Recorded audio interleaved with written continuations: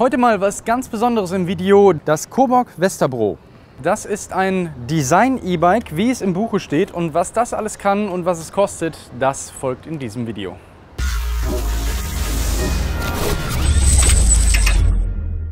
So, wie bei jedem E-Bike-Video würde ich die Komponenten einmal von vorne nach hinten durchgehen und euch schildern, wie ich damit fahren konnte.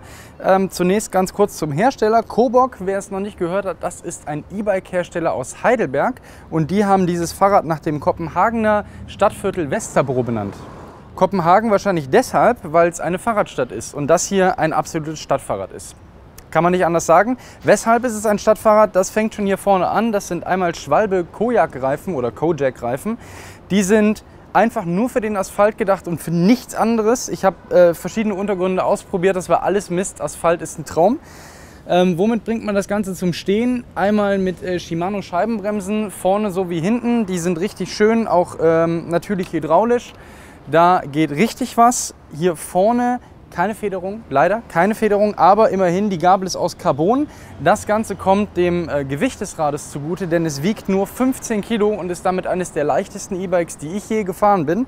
Richtig schön gemacht.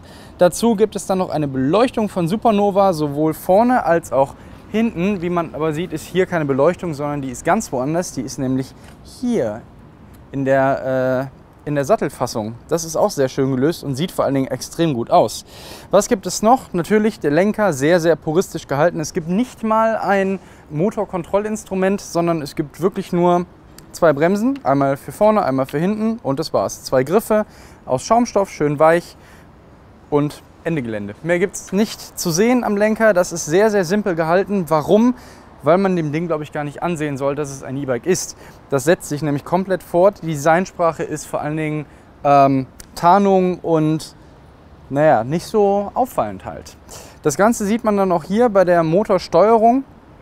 Die hat man hier in den Rahmen gesetzt. Das sind einmal fünf Lämpchen, die eben verschiedene äh, Stati weitergeben können, wie es dem Bike zum Beispiel geht, ob das Bike äh, überhaupt angeht oder nicht angeht. Das Licht kann man damit an- und ausschalten, den Akkuladestand kann man da rauslesen.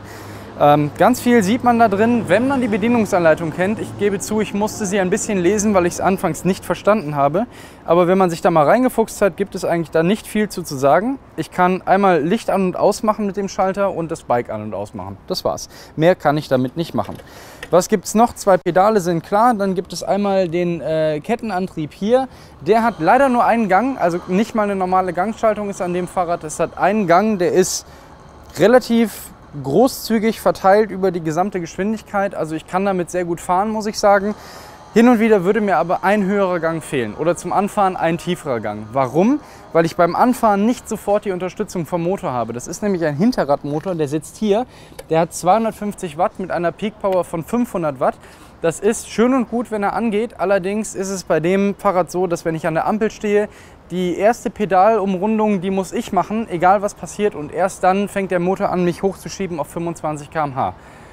Hätte man besser lösen können mit einem Mittelmotor, aber Hinterradmotor, habe ich in vielen anderen Videos schon mal gesagt, fühlt sich einfach ähm, etwas spaßiger an beim Fahren, weil man so ein bisschen angeschoben wird vom Hinterrad eben und äh, nicht das Gefühl hat, dass einem einfach nur beim Pedalieren geholfen wird.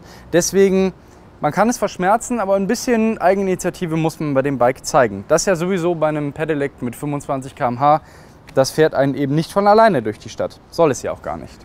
Was gibt es noch zu sagen? Ich habe äh, hinten wie vorne sehr, sehr kleine Schutzbleche, die eben das Gröbste von meinem Rücken frei halten. Einen äh, Sattel, beziehungsweise ja, einen Sattel gibt es dazu. Was es nicht dazu gibt, das ist der Gepäckträger. Den muss ich optional nochmal dazu kaufen. Tut ein bisschen weh bei dem Preis, denn dieses Bike kostet 4.500 Euro, so wie es hier steht. Und das ist schon eine ganze Menge für ein E-Bike, zumal es so puristisch ist. Aber die Komponenten sind sehr hochwertig. Es ist mit 15 Kilo unglaublich leicht. Also man kann es mit einer Hand tragen.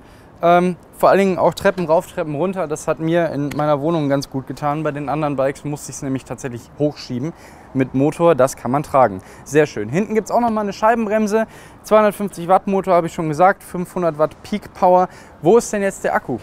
Mag sich der eine oder andere fragen. Hier ist kein Akku, da ist kein Akku. Wo ist der Akku? Ganz einfach, der Akku sitzt hier in dieser Stange. Die ist nämlich etwas breiter als der Rest und da ist die Batterie drin. Das hat den Vorteil, dass man den Akku eben nicht sieht und das Ganze von weitem für ein Fahrrad halten könnte. Das hat aber auch entscheidende Nachteile. Erster Nachteil, die Kapazität ist relativ gering. Dieses Bike hat eine Kapazität von 350 Wattstunden bei 36 Volt. Das reicht für maximal 80 ähm, Kilometer. Allerdings auch wirklich nur dann, wenn ich es gemächlich fahre. Fahre ich wirklich schnell, dann habe ich so 50 bis 60 Kilometer. Das ist immer noch relativ viel, aber man muss bedenken, auf 25 km/h. Ich habe hier also kein 45 km/h S-Pedelec, sondern ich fahre eben mit unter 30 km/h durch die Stadt und das 60 bis 80 Kilometer lang. Dafür ist der Akku hier versteckt. Was für einen Nachteil hat es noch? Einen, der mich wirklich, wirklich genervt hat. Dieses Fahrrad ist nämlich nur aufladbar äh, als Ganzes. Das bedeutet, egal wo ich den Akku laden will, ich muss sicherstellen, dass ich das Fahrrad mitnehmen kann. Das ist dann im Büro nicht annähernd so angenehm, als einfach den Akku mit ins Büro zu nehmen, hinzulegen und aufzuladen. Nein, das Fahrrad muss im Büroraum stehen oder bei mir in der Wohnung oder bei mir im Keller, wenn ich dort Strom hätte. Das ist äh, sehr elegant gelöst, das Aufladen, weil man einfach nur hier unten einen Magnetstecker dran macht, den man auch nicht sieht während der Fahrt. Aber man sollte sich überlegen, ob man die Möglichkeit hat, das komplette Fahrrad dorthin zu schleppen, wo es aufgeladen werden muss. Denn der Akku darf nur von Werkstätten entnommen werden. Nicht wie bei fast allen anderen E-Bikes, wo es auch äh, einfach ohne das Fahrrad ging. Schade, aber sonst gibt es da wirklich nicht viel zu meckern. Vielleicht sollte ich dazu noch erwähnen, das Ding ist nicht ganz so ähm, unsmart, wie es wirkt. Es gibt auch noch eine App im App Store für iOS, mit der kann man sich ein paar Daten vom Fahrrad schicken lassen. Über Bluetooth geht das.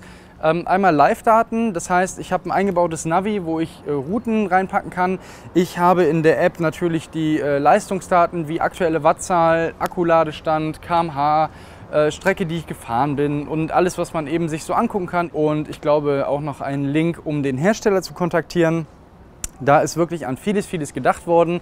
Es ist nur, mh, mm, ich habe bei diesem Bike nicht das Verlangen, mein Smartphone hier irgendwo anzubringen. Das ist so, wie es ist, für mich okay.